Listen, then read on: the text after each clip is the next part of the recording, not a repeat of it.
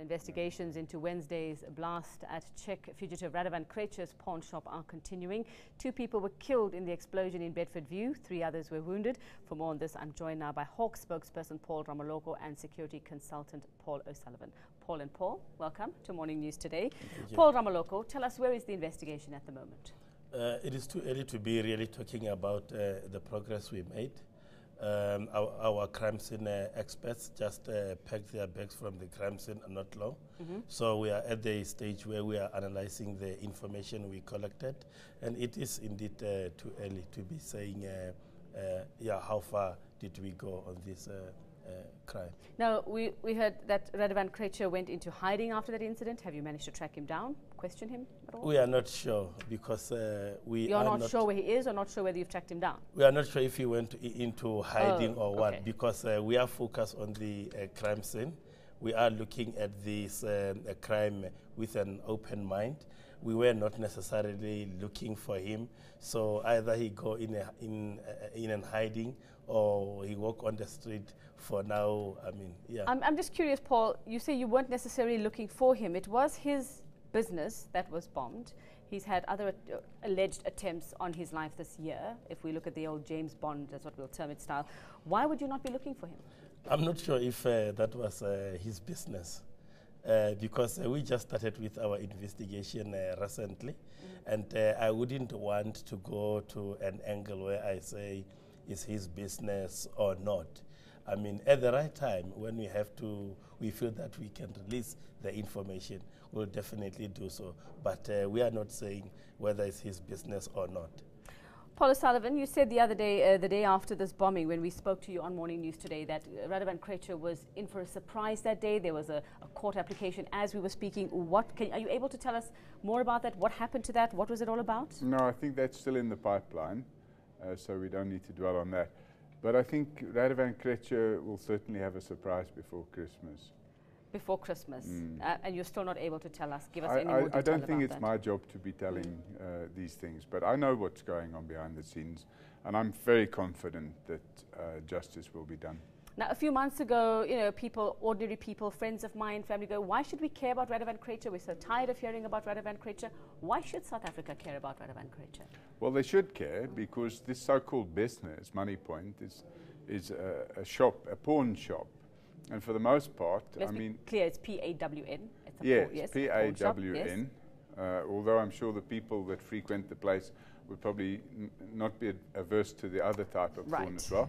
Now, uh, I placed that business under surveillance for a while, and I found that some of the characters going there were actually uh, selling stolen property. So when your house gets robbed, when you're tied up and they steal all your jewelry, it's those type of entities that are buying that jewelry. Now, Krejcir himself tried to get involved in a gold refinery. In fact, he even took up office at Rand Refinery because he was having so much gold melted down that he was selling. And, you know, no taxes were paid on any of that income. The man has made an absolute fortune from criminal activities and we should be very worried because he's brought his own little crime wave to South Africa. And like all mafia operations, he just sits on the top of it and dishes out the instructions. Mm, mm. And when things go wrong, people vanish or they get murdered. Now, you're doing all the surveillance, and I know you've had particular interest in Radovan Krejcir as well. Have you been sharing this information with, with the, you know, the Hawks? Yes. I mean, obviously, we work very closely. Yeah. It's a one-way sharing process because they're not entitled under law to yes. share the outcome of their investigations with me, and I accept that. I have done for many years now. Um, you know, it, it's like throwing stuff into a black hole. You don't really know how they use it or what they do with it, mm. but they certainly have thanked me for some of the information I've provided and some of the sworn statements I've managed to obtain. And I've managed to turn some, some very key witnesses. Mm. So I think we will see some progress. It's a painstaking job. You know, um, the Untouchables, the, the, the Chicago uh, gangsters if you want to call them Well, the, the, Untouchables was the police unit, the oh, government okay. unit that was put together to bring down the Chicago gangsters in the roaring uh, 20s. And they took four and a half years to bring Al Capone down. Now, um, you know, I, am not saying it's going to take four and a half years for the Hawks to bring Krejcir down. They've been busy with him now for three years. But I think we will see some action uh, in the not too distant future. All right. And are we saying that Radovan Krejcir is directly involved? Are we alleging he's directly involved in well, this crime wave and see, all of this crime that we're You know, in the same way that Al Capone sat at a table in a restaurant and dished out instructions, Krejcir runs his, his activities in the same way. So he, you won't catch him with a smoking gun. You won't find him with a gun in his hand, although he has been known to have a gun in his hand from time to time. I think on his 40th birthday, he took one of his bodyguard's guns and fired a few shots in the air. And he did that in front of a general in the police mm. uh, who happened to be on his payroll, mm. you know. So uh, it's very difficult to put a case together against a man like this, especially when some of the key potential witnesses wind up dead. Hmm. Paul Ramaloko, all of these, uh, all, all, of this sort of uh, information coming from Paul O'Sullivan from his own investigations, have you verified any of this? Have you sort of taken this investigation seriously enough, uh, given now that people are dying around Radovan Krejcir? Uh, Paul O'Sullivan will agree with me that uh, all the information he supplied us with, we gave it uh, the necessary attention. But we are saying that it is not our policy to be talking about individuals before they can be taken to court.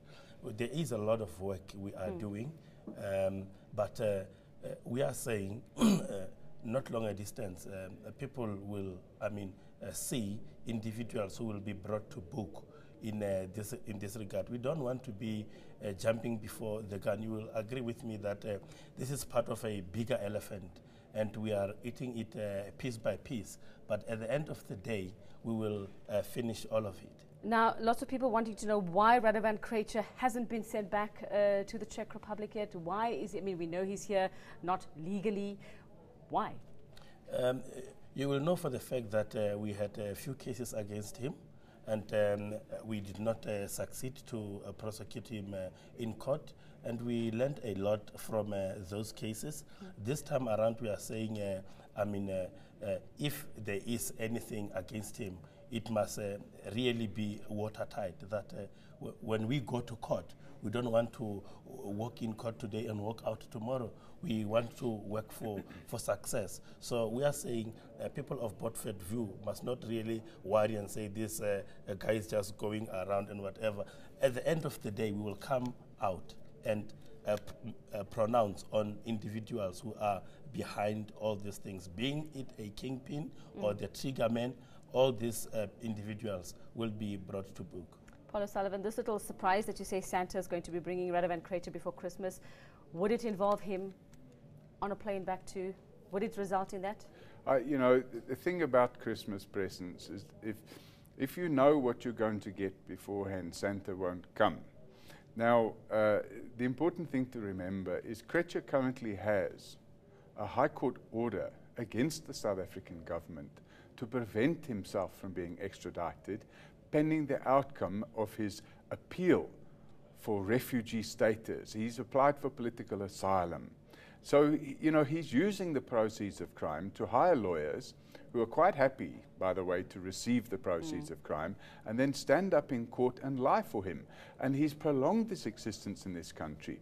But I think one of two things will happen in the not too distant future and that will be either A, that he's shipped back to where he came from and where he belongs, mm. or B, that he will be in prison. And I hope it's the first, because if he goes to prison, we'll have the most corrupt prison uh, in the country, will be the prison that he's staying in. All right, unfortunately, that's all we have time for on the subject. That was Hawk spokesperson Paul Ramaloko and security consultant Paul O'Sullivan on Radovan Krejcir.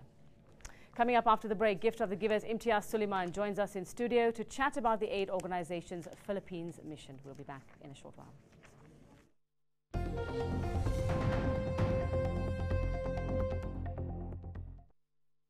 News that moves. ENCA.com.